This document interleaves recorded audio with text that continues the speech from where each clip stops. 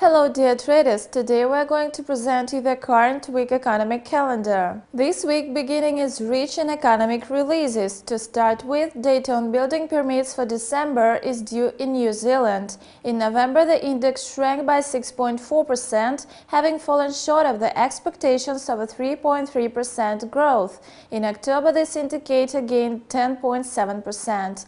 Thus, the number of permits issued for construction of dwelling units decreased by 1.8% and those for non-residential buildings by 13%.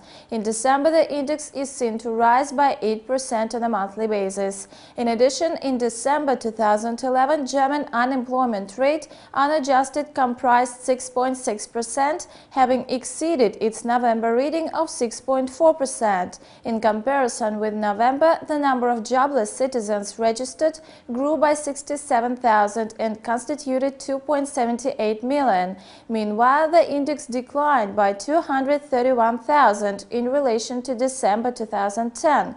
Taking into account seasonal fluctuations, the indicator dipped to 6.8% month to month, and the rate of unemployed decreased by 22,000 and equal 2.89 million. The flash data for January is suggestive of a decline in jobless citizens number by 8,000. Meanwhile, the USA will publish data on the Conference Board CPI. The index was equal to 64.5 in December versus 55.2 points in November. The headline figure ran over the expectations of experts who had predicted a growth to the level of 58.5 points. The gauge of consumers positively assessing the current market conditions rose from 13.9% to 16.6%.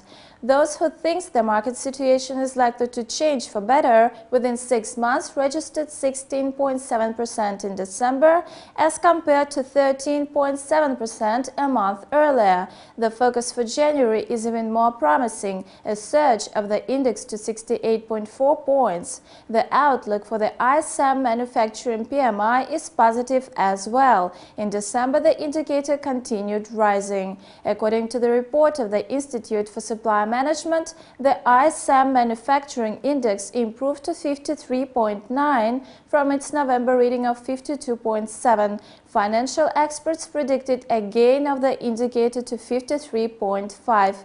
A projection for January is 54.6 points. It is worth reminding that readings over 50 are indicative of more vivid activity in the sector. It was Economic Calendar prepared for you by Insta TV team. See you next week.